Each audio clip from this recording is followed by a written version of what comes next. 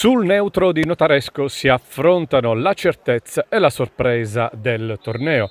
La forza della squadra di Epifani pronta a fare il salto in die e la pragmaticità dei ragazzi di Cifaldi che sognano gli spareggi di play.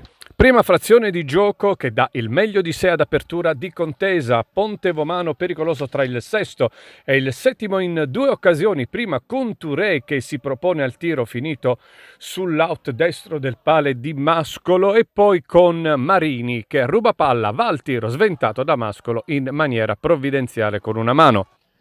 La replica rosso-blu è tutta sulla testa di Brunetti che raccoglie una palla d'angolo che termina fuori di poco.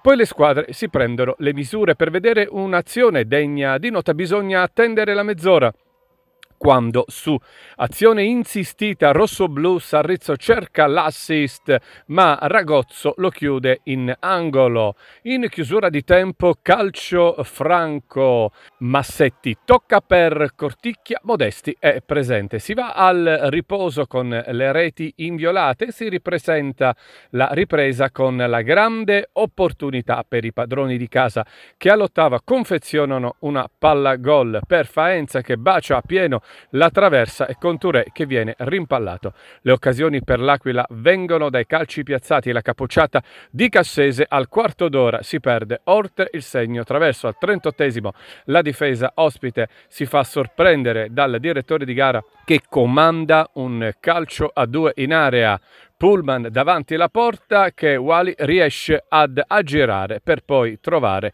Mascolo che si riscatta. Al 42esimo cross dalla destra con Riccardo Di Stefano che si rifugia in angolo pressato da Marchionni fino all'ultimo istante ed assalto in pieno recupero che non dà i frutti e sancisce lo 0-0 finale. Alla fine un passo ciascuno per i rispettivi obiettivi, una gara in mano per l'Aquila verso la Serie D e il Ponte Vomano verso i play di promozione.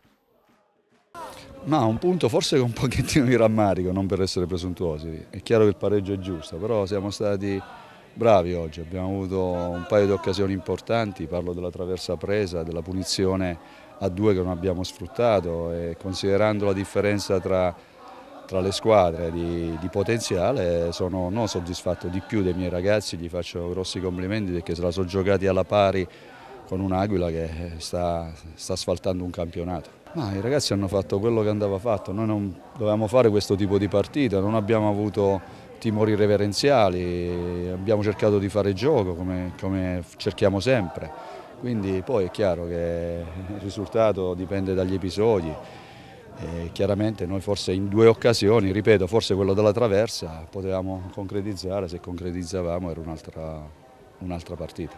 No, no, il bicchiere è tutto pieno perché oggi pareggiare e poi ha pareggiato anche Giulianova ci avvicina sempre di più eh, alla Serie D Oggi l'avevo detto ieri che era una partita difficile, eh, loro è una squadra che ci ha dato sempre fastidio anche oggi e quindi è un punto che ha, che ha grande valore perché poi eh, mancano 5 partite, abbiamo 10 punti di vantaggio, domenica giochiamo in casa e sarà una partita determinante per noi e quindi siamo contenti per come è l'andamento della gara eh, perché giocare contro di loro è dura, anche se è stata una bella partita poi eh, il campo l'ha reso anche in questa maniera, ci ha penalizzato un pochettino, però non è una scusante.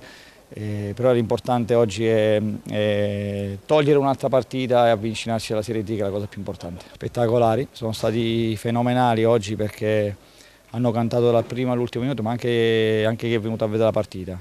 Hanno capito il momento del, del, campionato, hanno capito il momento oggi di sofferenza perché bisogna dar merito anche agli avversari quando si, si soffre un pochettino eh, però si vincono i campionati anche con queste partite, eh, con caparbietà, con, con, voglia di portare a casa il risultato e di questo ne siamo contenti. L'obiettivo nostro è la D, ci siamo vicini, siamo contenti, adesso ci manca l'ultimo sforzo per arrivarci.